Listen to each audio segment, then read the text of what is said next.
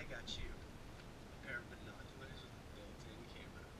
Now, next year when you go hunting, even if you don't get milk, again, you can show us pictures